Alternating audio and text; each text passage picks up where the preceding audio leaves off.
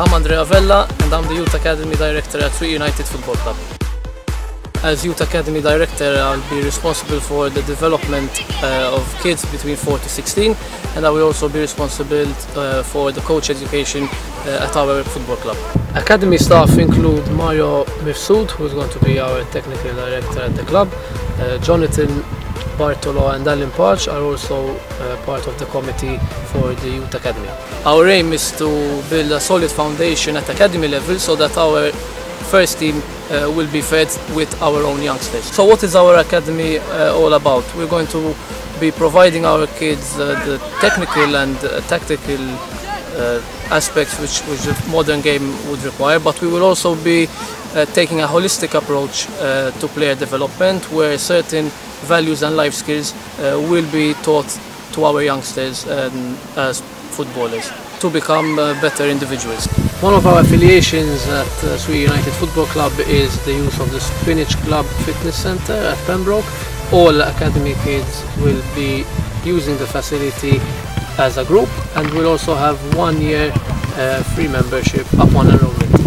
How is our academy structured? We will be having three phases of development. The first one being the pre-academy phase where we will have kids between the ages of 4 to 8.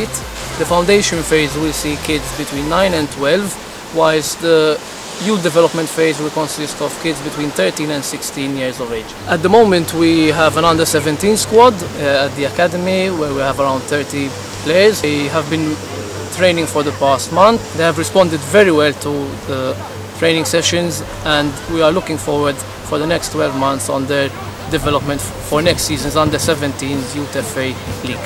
The 2013-2014 season, season at Swieqi United Football Club is uh, an exciting one. The first team looks set and ready to kick off their league commitments on the 14th of September, whilst our under 19s are also geared up. I encourage you to come and support our players of Swieqi United.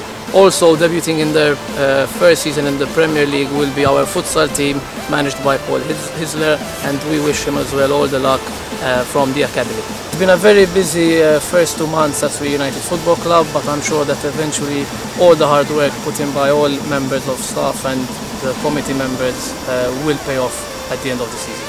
Thank you.